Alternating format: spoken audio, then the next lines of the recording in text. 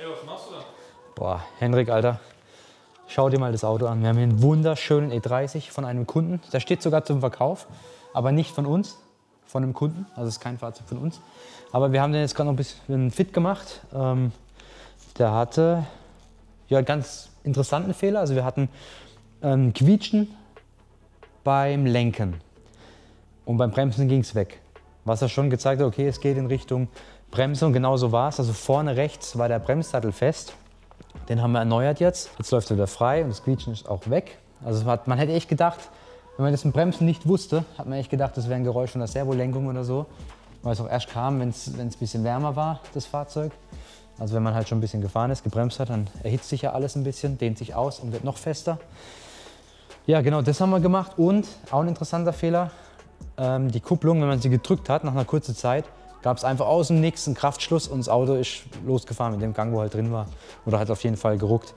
Und da war der Geberzylinder, der war defekt. Aber wir haben eh beide getauscht, entlüftet und jetzt passt es wieder.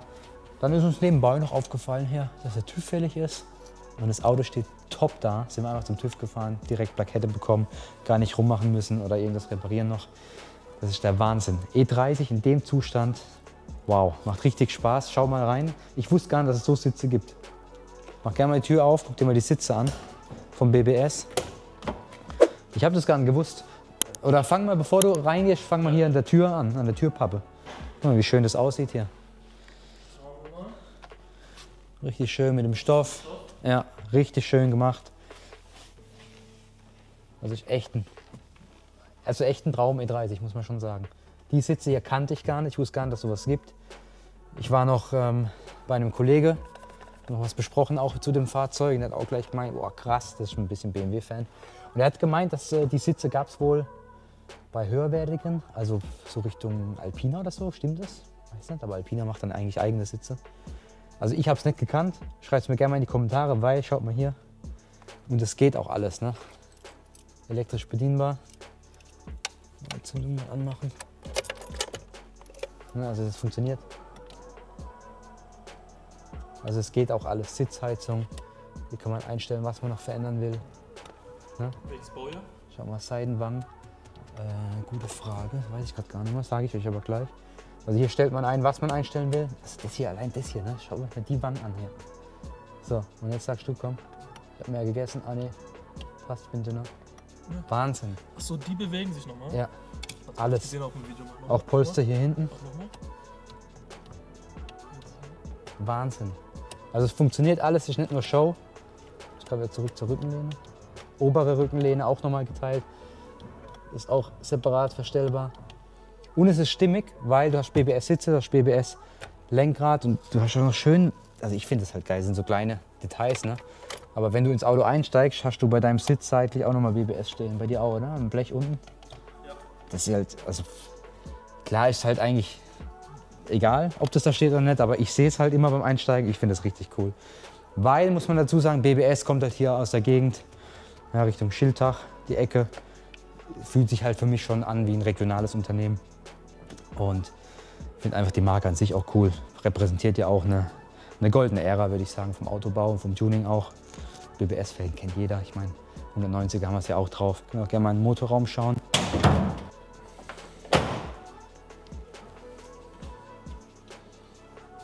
Zack. Ja, da ölt auch nichts, da tropft nichts. Ist komplett sauber.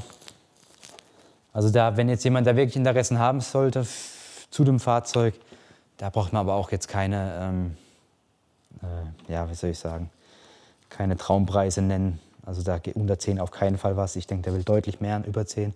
Ich weiß den Preis jetzt gar nicht, aber wenn wirklich, wirklich Interesse da ist, dann gerne einfach mal melden oder schreiben, ja, per, per äh, Instagram oder unter den Kommentaren.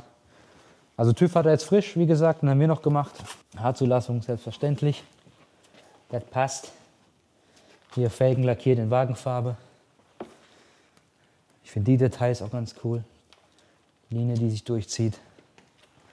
Ich habe mich jetzt gar nicht so eingelesen, also was Ausstattung technisch, wie das alles heißt und was alles original ist und was eingebaut wurde oder was nicht. Fakt ist, alles, was er drin hat, das Fahrzeug rundum, steht einfach sauber da und ist wirklich ordentlich. Ja, und es wirkt auch. So als er jetzt auch im Hofstand kam, echt Leute haben auch wieder geguckt, oh, schöner BMW. Also, Kilometer haben wir 184.000 und ein paar zerquetschte. Baujahr, Erstzulassung Mai 89, also im Jahr der Wende. ähm, ähm, wenn man jetzt mal überlegt, 89, 9, ja krass. Weißt du, was eigentlich gerade krass ist? Das fällt mir jetzt auf. Was denn? Jetzt schau mal. Wir haben hier, wir haben hier gerade die Konkurrenten eigentlich. Ja, wir Ist haben hier, auch 89 oder was? ja, oder 90 auf jeden, oder auf jeden Fall. Also Bauzeitraum E30, also 190er war auf dem Markt, als auch der E30 auf dem Markt war. Und ich glaube, das war auch so ein Thema, wo Mercedes gesagt hat, hey, wir müssen einen Kompaktwagen schaffen, dass wir auch einen Konkurrent haben zu BMW, bin ich mir ziemlich sicher. Ähm, ja, aber es tut mir ein bisschen weh, wenn ich sage, weil ich ja doch ein bisschen auch ein Mercedes-Herz habe. Aber meiner Meinung nach war BMW zu der Zeit deutlich weiter. Deutlich. Auch danach E36, wenn man die C-Klassen danach nimmt, E46, dann deutlich weiter. Deutlich weiter. Und man merkt es einfach schon vom Fahrgefühl, BMW war immer, würde ich sagen, das coolere Fahrzeug, sportlichere Fahrzeug. Und Mercedes war schon so die, das ist so die Rentnerkarre. Am I driving? Muriel, you are driving. Kann man schon sagen. Ich finde diese Lippe hier auch richtig, Mega, gell? richtig sexy. Ja. Ja, stimmt. Ist es auch. Aber man sieht schon von, von, von, der, von der Grundgebung her, vom Licht auch, von Rückscheinwerfern, dass es eine Bauzeit war, ne? vom Design. Man sieht schon noch, ja, zu der Zeit hat man noch die orangenen Blinker gern gehabt. Später wurden die immer weggefallen oder früher hat man sie dann auch die Fahrzeuge getuned und hat dann weiße Blinkergläser reingemacht und eben nur die wei- äh, gelben Birnen rein, so wie man es heute eigentlich im Standard schon kennt. Aber ich finde mittlerweile das mit dem orangenen Blinkerglas eigentlich auch schon wieder cool, weil es einfach oldschool ist. Ja, aber hier haben wir echt, oder was sagst du jetzt als, ich bin jetzt kein Kfzler, aber wenn du jetzt wählen müsstest, Will ich was? wenn du jetzt wählen müsstest, 190er oder E30? Ah, ich würde schon den BMW nehmen. In dem Fall. Also no hate gegen 190er, auch schönes Auto. Aber das ist aber ein bisschen sportlicher, so vom. Ja, Ja, das fände ich einfach ganz cooler so für mich. fährt sich auch so. Ne? Ist beides cool. Aber ich, also vom, vom Ding her war BMW auf jeden Fall meiner Meinung nach weiter. Könnt ihr mich jetzt an den Pranger stellen, könnt ihr mögen oder nicht. Meine Meinung darf ich trotzdem haben. Noch darfst du. Ja. Aber beides cool. Gut. Brauchen Sie jetzt aber auch nicht endlos in die Länge treiben, das Video. Ich dachte einfach nur, ich zeige euch das. Wir gehen jetzt in Feierabend. Und danke euch fürs Zuschauen.